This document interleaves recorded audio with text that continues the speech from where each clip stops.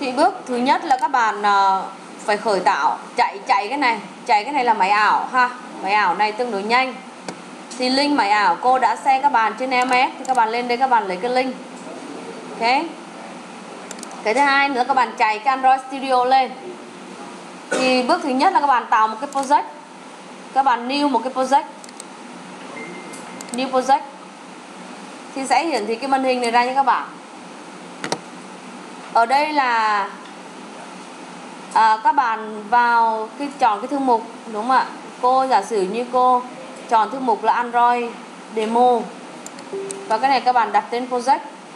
Tên các bạn dùng là lab lab 2 giả sử như lab 2 bài uh, bài 3 bài 2 bài 2 ha. Ok. Cái này các bạn à, bỏ cái include Kotlin support bởi vì là cái này các bạn vẫn viết cho Java đúng không ạ? Next. Cái này các bạn để ngầm định. Ok cái activity thì các bạn chọn basic hoặc là các bạn chọn cái um, empty. Empty đâu ạ? Ở đây empty. Chọn cái empty. Ok next cái này là activity name, các bạn có thể sửa. Hoặc là để như vậy. Cái thứ hai là layout name. Cái file này là file XML đúng không ạ? Đấy. Các bạn nhấn finish. Chờ một xí hả?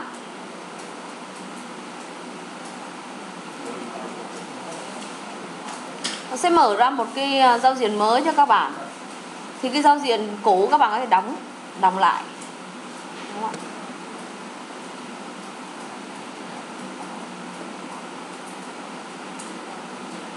cốt là chờ đợi. Android Studio là chờ đợi.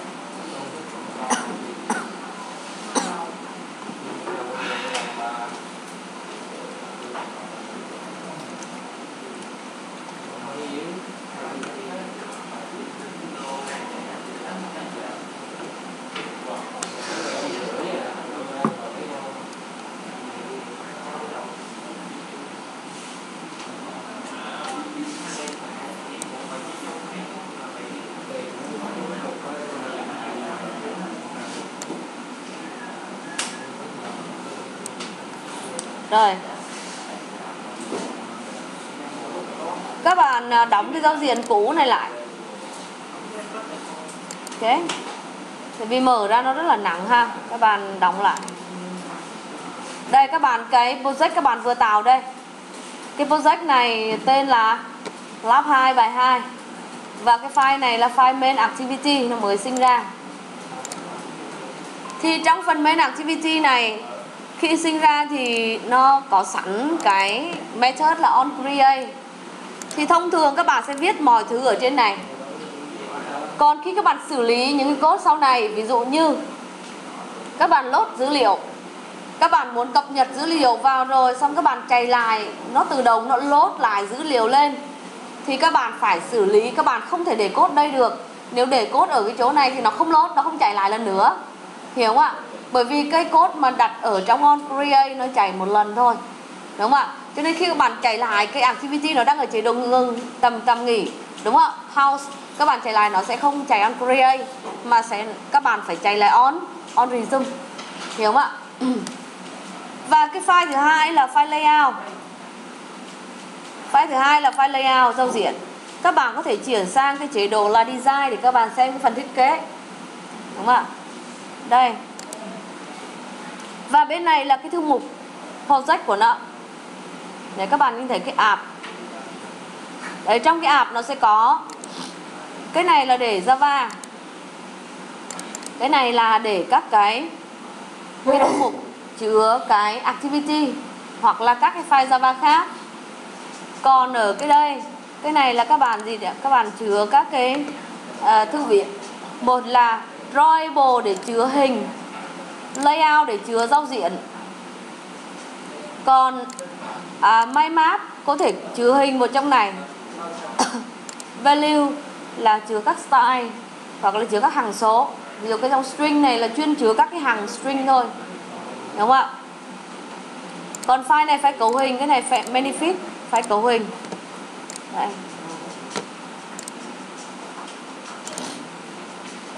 cái này nó đang bị cái lỗi R. Đây, các bạn thấy nó gạch gạch này đang lỗi nè. Đấy, cái lỗi R có thể nó lốt chậm. Chờ tí nha. Lỗi file R này có nghĩa là trong cái Android nó sẽ có một cái file nó từ sinh ra. Tức là generate, tức là từ sinh ra. Thì đó chính là file R. R là viết tắt của resource và tất cả những cái gì mà các bạn tạo ở trên cái main activity này, nó sẽ được ghi vào cái file R tất cả những cái này, ví dụ những cái ID này, cái giao diện là các bạn, nó sẽ lưu ở trong cái file R thì tạm thời, nếu như cái file R này mà bị lỗi, thì các bạn phải kiểm tra cái lỗi ở đâu để fix. Và các bạn không thể tạo ra được cái file R này đâu nếu mà các bạn mà new một cái file R này, nó lỗi, nó không nhận. Tại vì file R này là file nó tự sinh ra, Android tự sinh ra. Ok. Rồi. Bây giờ nó sao sao lỗi ta? Rồi, cái này là các bạn xem cái giao diện của nó. Đúng không ạ? Giao diện của nó đây. Thì ở bên tay à, tay tay phải các bạn, bên tay trái các bạn, cái chỗ này nè, gọi là palette cái chỗ này chính là cái à, bảng để các bạn để tất cả những cái view. Cái này được gọi là các cái view. Ở trong Android thì gọi là các view. Nếu như các bạn học HTML thì nó gọi là các control, các điều khiển. Những cái này ở đây nó gọi là các view. Đây là các cái view thông dụng, các bạn hay dùng. Đấy, đây là text view, button, các cái widget widget này nó nhiều lắm. Y chứa email là web view, tất cả những thứ nó liên quan đây. Hay là layout.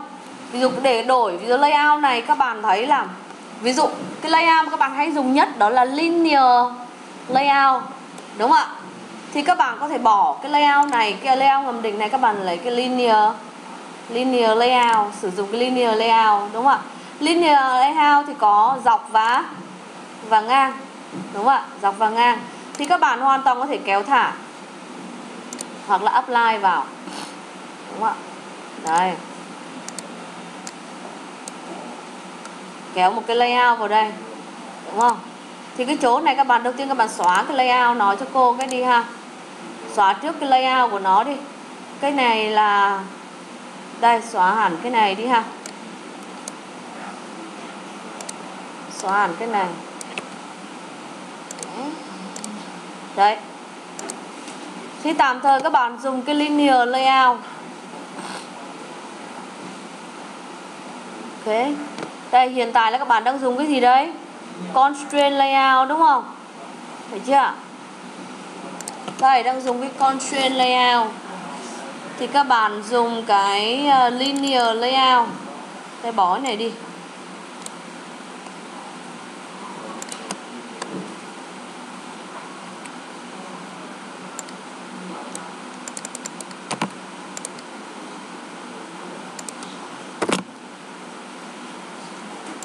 Từ từ nha cô sẽ bỏ lại cái này cho dễ ha. Đây. À, để bỏ cái con trên layout này đi. Android thôi kệ đi.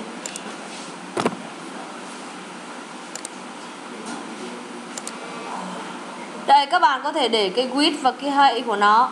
Các bạn để là match parent parent.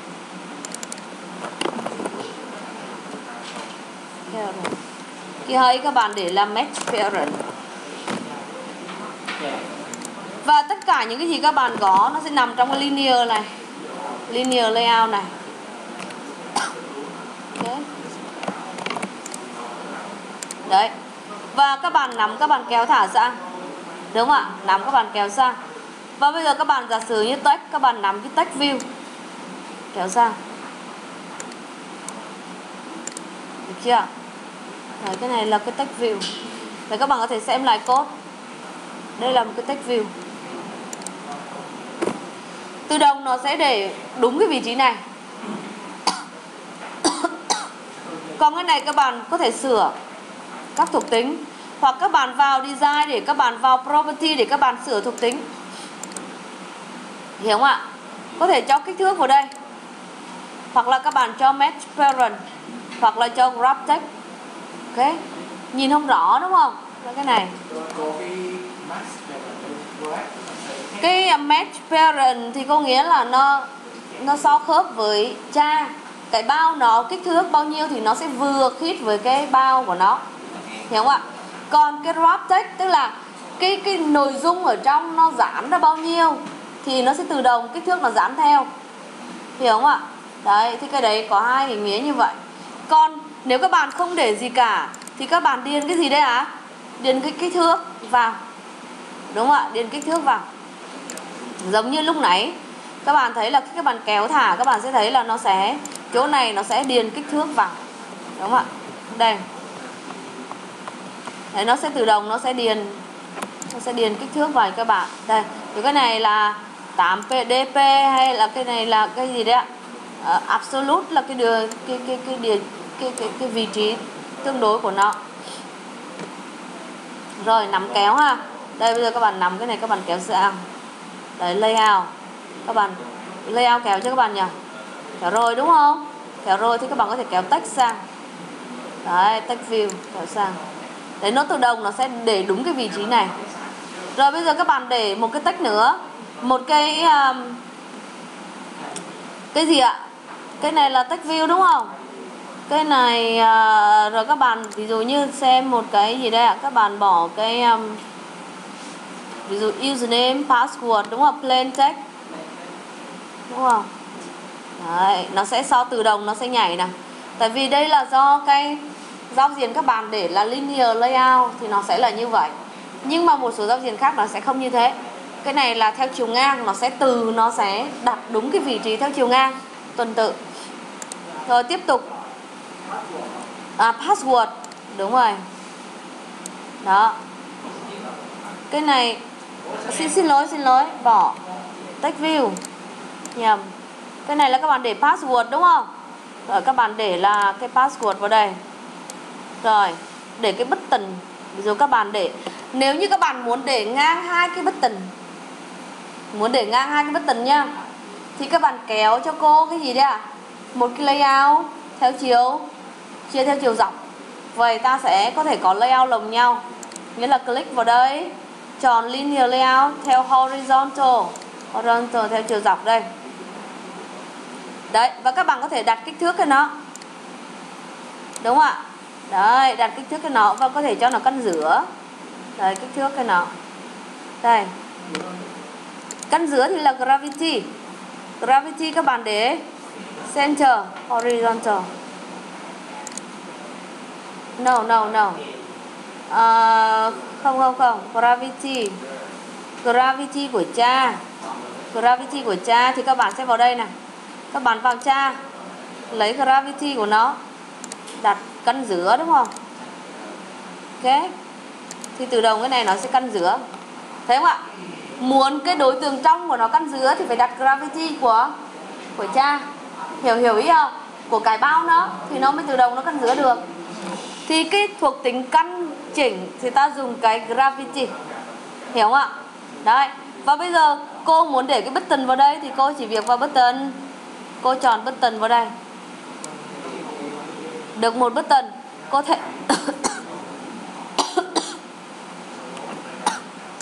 có thêm người nữa.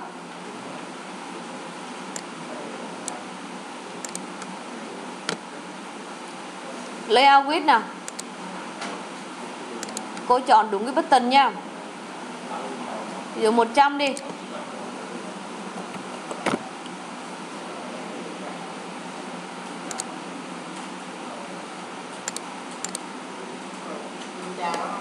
Đâu, cô hình như cô đang bôi cái trà từ từ, chờ cô nhìn nha. Vào cốt nếu các bạn nhìn không kỹ. Các bạn vào cốt. Button nè à? ta chọn đối tượng button nè à? cái này 103 cái này uh, linear layout cái 200 cái này cô để là 200 đúng rồi. Cái này là 103 wrap text đúng rồi. Design. Ồ oh, sao không nhảy nhỉ? Rồi cô nè cô kéo một cái nữa cô để vị trí đây. Cũng cạnh nó. Hai cái bất tình à, từ nốt canh được chưa? Đặt hai vị trí đây. Thấy chưa? Đó. Thì cái này các bạn được cái giao diện như các bạn mong muốn. Hiểu không? Đấy, ví dụ chỗ này các bạn bây giờ tách các bạn đổi cho cô nha. Vào cốt đổi cho dễ nè. Tức là cái tách đầu tiên là các ta để là cái text view. Ta đang để cái text view thì ta để là username. User name thì ở đây nó sẽ đổi thành username. Sorry. Rồi, cái này cô để là edit text. Cái này là để cái hint text cái input của nó là time đây, không có lời nhắc. Lời nhắc của nó đây, cô bỏ đi ha. Sách bỏ đi nhá. Thì nếu như là lời gợi ý các bạn biết trong HTML có một cái gợi ý đó là placeholder. Thì đây có một cái hint. Thì các bạn có hint. Thì các bạn có thể gõ vào đây. Thì enter username thì nó sẽ là cái gợi ý đây hint text. Đúng không ạ? Rồi, tương tự các bạn để cái này. À cái quan trọng nhất nữa mà cô nói các bạn đó là cái ID mỗi cái đối tượng này sẽ có một cái ID ID để các bạn có thể điều khiển thông qua activity. Đúng không ạ? Nó sẽ lưu trữ vào cái file R. Mỗi lần các bạn lưu tất cả thông số này, nó lưu vào file R hết thì các bạn phải đặt được cái ID ở đây. Đúng không ạ? Ví dụ cái này là các bạn đặt là txt username. Ok? Rồi cái này các bạn đặt text view thì khỏi đặt. Nếu các bạn không xử lý thì khỏi đặt. Cái này cô để là password. Rồi cái này các bạn để là txt password. Và đây các bạn có thể để hint text mà thôi, khỏi password, khỏi để hint text, đúng không? Ok, password, khỏi để hint text. Để cũng được. Thực ra các bạn để cũng được. Các bạn chỉ cần gõ chữ hint, enter cái nó sẽ ra. Đúng không ạ? Ở đây các bạn để là enter password.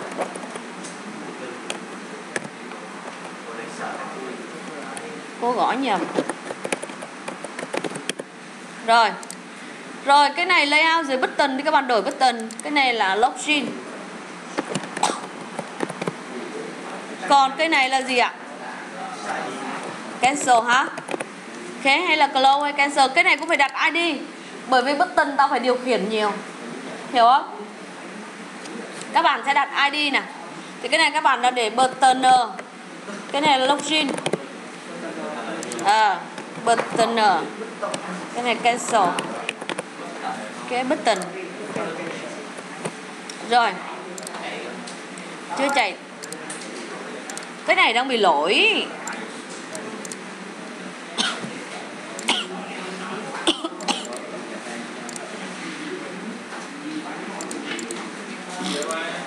Nó là lỗi gì mà nó phiếu file r này rồi? Cô clean and build nữa này coi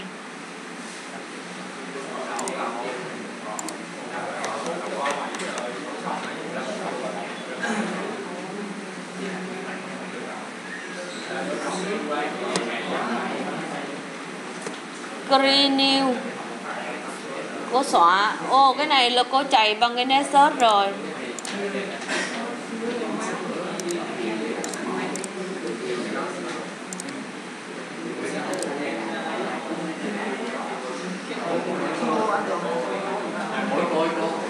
cái lúc đó mẹ em tốt đó mẹ sửa một bên một bên cái đẹp là mẹ trên máy em nó không có cái đẹp hình bên là giờ lên rồi. Sao em? Cô kỹ ý là lúc mà em vô cái phần test á để em sửa code á thì nãy giờ cô làm á là tụi em thấy nó có hai cái này cô xóa cái này đi hả? Có cái này là xét bên cái đoạn code của cô mà bây giờ cái này mình nói giờ thì sẽ màn hình nào không có ta đi từ. cái này thôi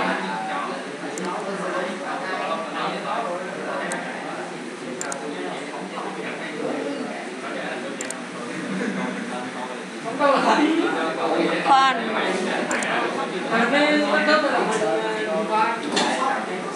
Cô coi từ từ cô coi lại cái um, cái nóc cô sao cô nhìn thấy được cái nóc này nè? Bill. Nó đang bill ha các bạn. Rồi bây giờ các bạn nhìn cái giao diện nào. Đấy các bạn sang các bạn xem cái giao diện của ta này. Đấy.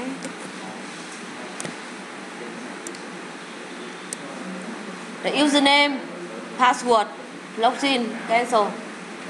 Nó có mấy cái button.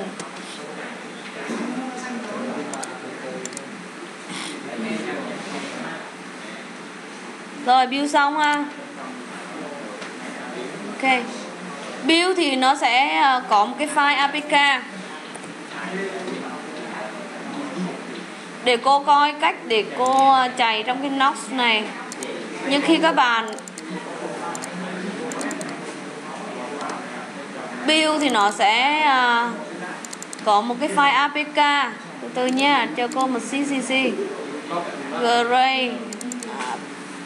Build output apk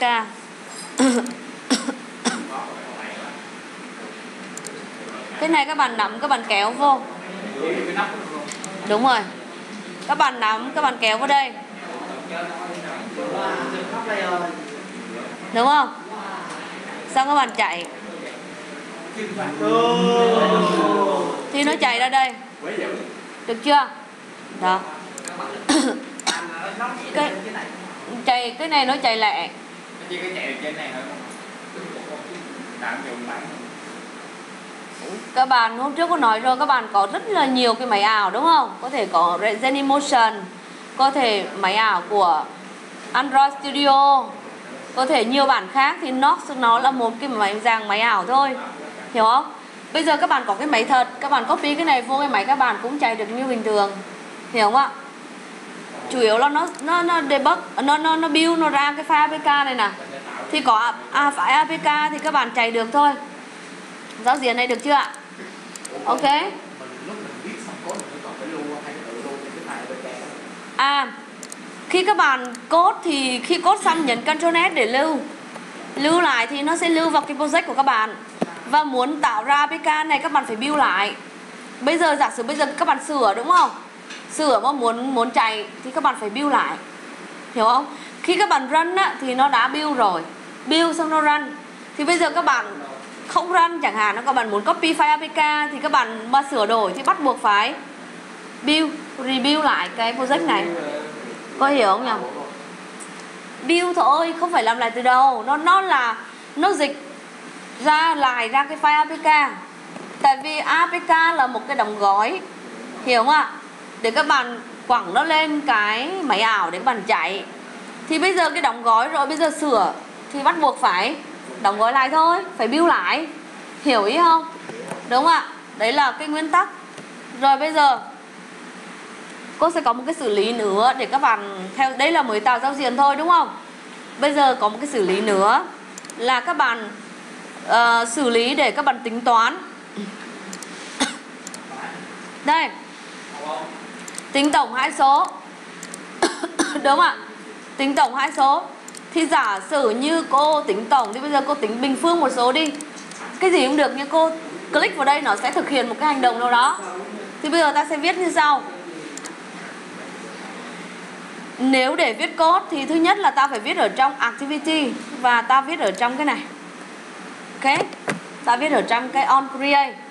Thì bây giờ giả sử là cô sẽ nhập vào username này là cô nhập đỡ một cái số nào đó. Số 3 xong cô tính bình phương. Cô sâu lên cái giá trị bình phương đó. Hiểu không ạ? Ba bình phương là sẽ bằng bao nhiêu đó. Thì cô sẽ viết đây này. Thì để viết như vậy thì bước thứ nhất, cô phải lấy được cái giá trị cô nhập vào đây. Bước thứ hai là cô phải tròn vào cái button để nó tính. Hiểu không ạ? Ok. Nhá đây cô không muốn bỏ bỏ cái này cũng được thôi, nhưng mà hay là bỏ đi nhỉ? Bỏ đi nhá. Ờ bỏ đi nhìn cho dễ. Đây, password nè. Cái này, chỗ này các bạn đổi lại cho cô là cái gì ạ? Số à xin lỗi, số. Khỏi khỏi cân. Bỏ đi. Thôi, bỏ đi. Đây, cái số thứ nhất. Cái này là nhập vào số thứ nhất, đúng không? Thì các bạn để là ID là txt uh, ờ, số đúng không? Số 1 đúng không ạ? Thêm một số thứ hai các bạn vào cái plain text tiếp. Các bạn chèn vô. Oh sorry Ctrl Z. Cô chèn vào cái layout này rồi cô phải chèn ngoài cái layout này cơ. Nó sẽ đè xuống dưới thì các bạn có thể vào code các bạn sửa nếu các bạn cảm thấy khó khăn đúng không? Copy lên. Ctrl X Ctrl V đúng không ạ? Nó sẽ đè lên trên. Nếu mà các bạn kéo thả mà cảm thấy khó các bạn sang chuyển sang cốt, các bạn làm cho dễ. Đấy nó cái này các bạn để là txt số 2 số 2 và cái này các bạn xóa cái này đi xóa cái hint text này đi. Bỏ cái này đi bỏ cái text này đi.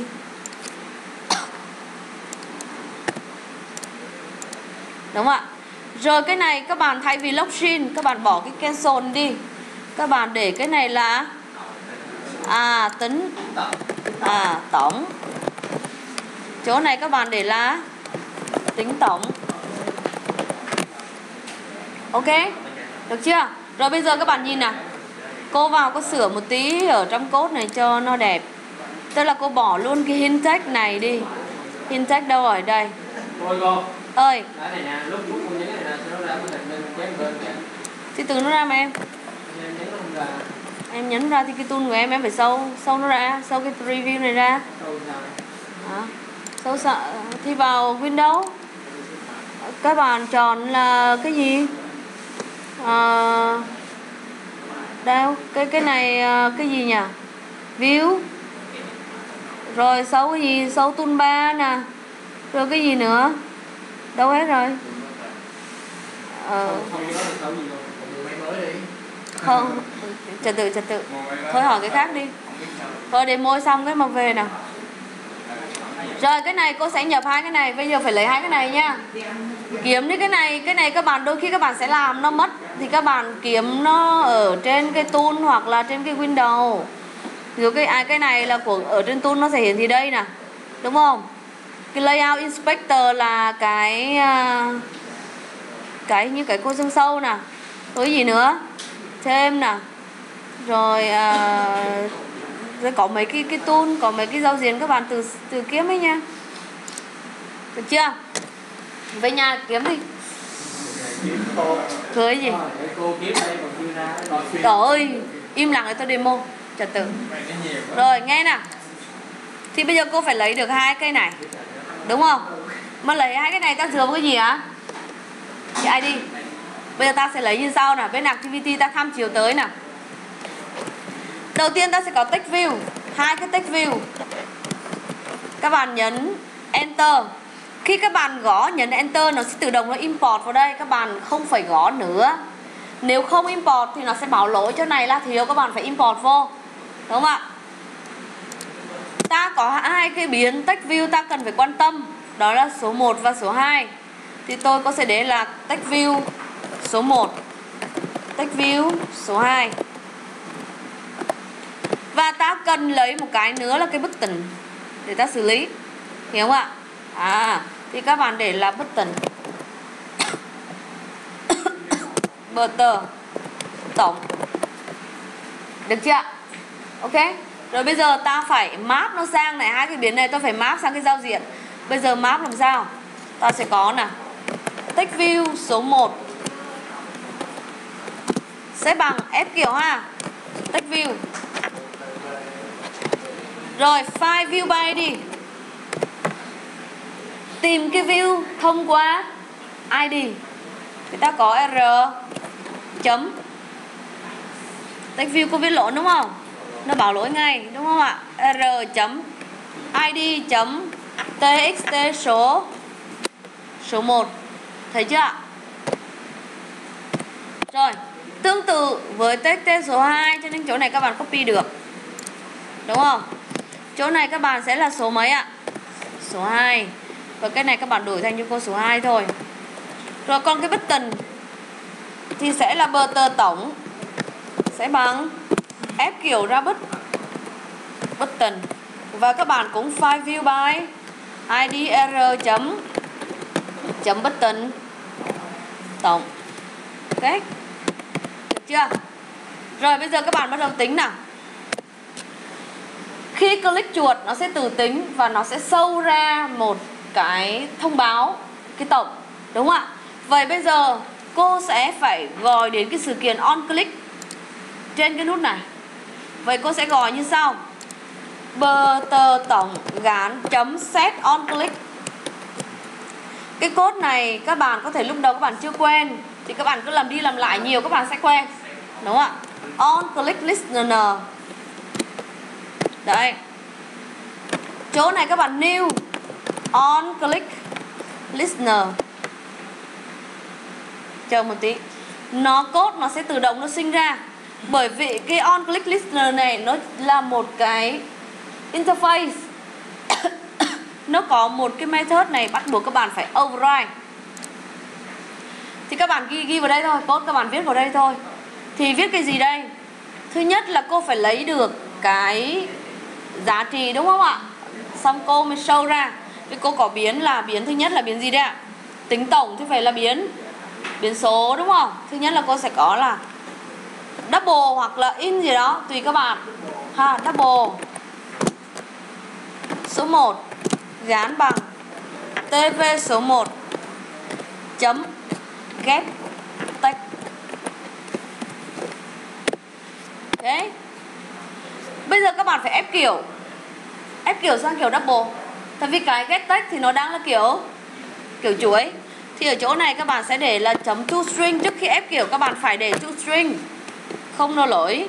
Chỗ này các bạn để là double. Double.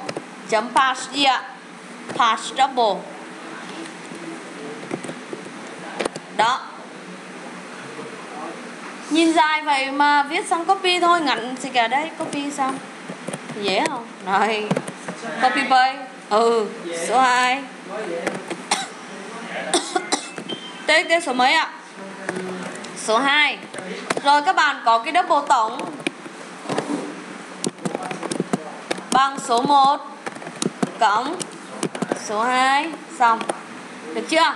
Bây giờ, nhiệm vụ nữa là sâu nó ra rồi có hai cách để sâu nó ra.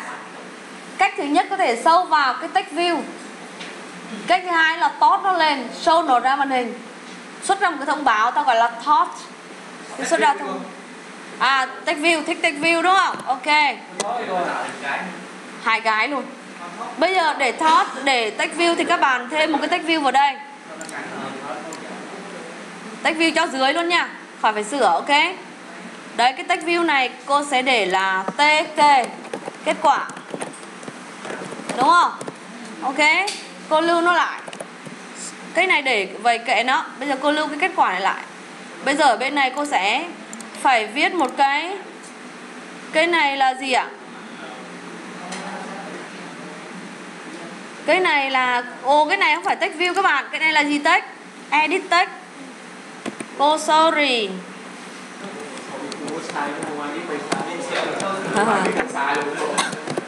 Sorry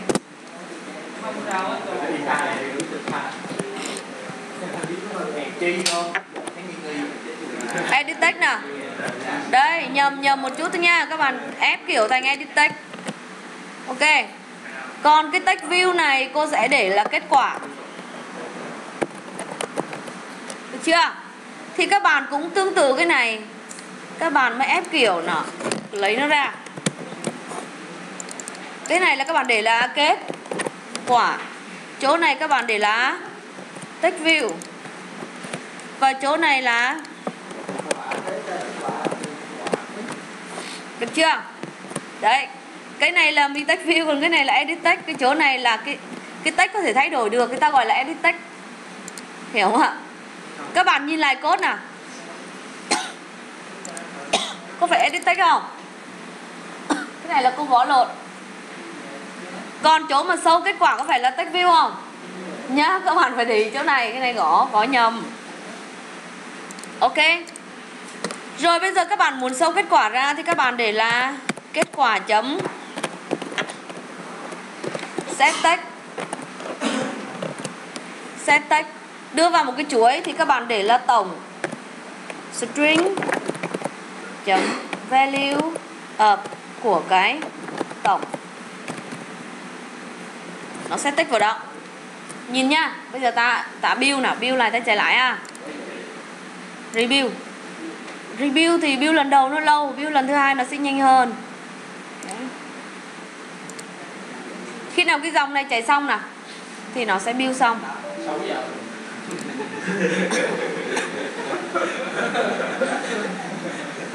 Ủa trong thôi giờ sớm luôn Nhi rồi. Đúng rồi, Nhi cơ cả hai đợi mà Nhi đợi cơm nha. Rồi tắt cái này đi. Rồi mình phải kéo vô lại là nữa đúng không? Mất xóa đi cũng được luôn. Cô giữ lâu lên, cô giữ chuột lâu lên là cô xóa được cô bình tĩnh.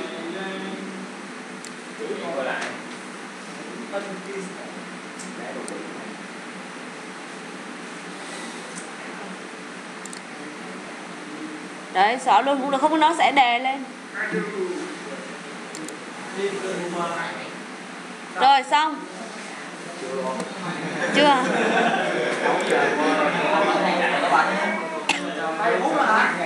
đâu có. Xong rồi nè, mấy đứa? 1 phút 4 giây 16 mili giây làm gì mà ghê vậy? Đây, cái output này nó sẽ ghi đè cái APK này lên. Đấy, các bạn nắm, các bạn kéo vào cái này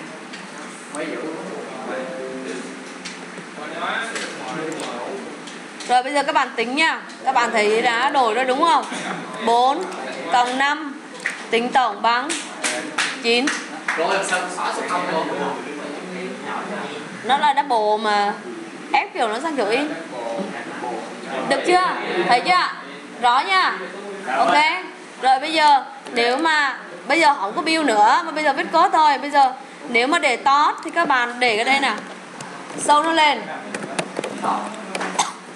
touch chấm make text đúng không? Main activity chấm this. Phẩy cũng xuất ra cái tổng này.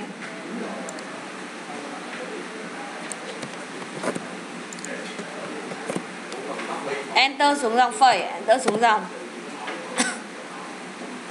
Thoughts len lon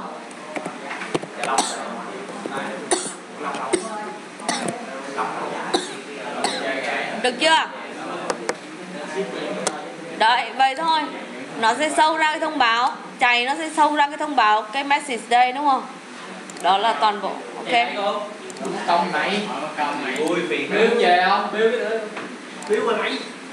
Biếu lên Một biếu lên đầu nó lâu rồi sau nó nhanh Một tiếng thì bốn phút của mày Đầu nó lâu rồi sau nó nhanh một phút Bây giờ một phút chưa sau tới tới sáng bắt ta Cô kêu một phút chứ tao kêu một phút tao đó mày. Nó build xong rồi đó. Đâu rồi? Đó. Đâu? Đây đây chuẩn bị xong. Nó sắp đâu rồi Trời. Giờ học mấy cái môn chơi ve thì kèm SEO học hoài lấy lấy đây, các bạn thấy là nó build. Có một phút à? Mấy cô là sdd đấy. Ờ. sáng chiều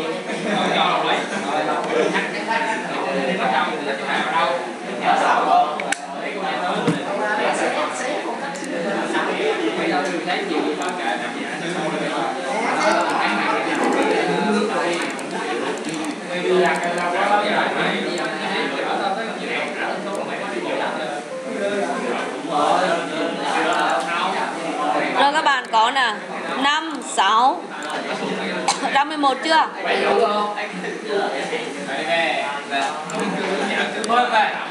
Còn cái phần mà activity này sang activity kia cô sẽ làm demo sau nhé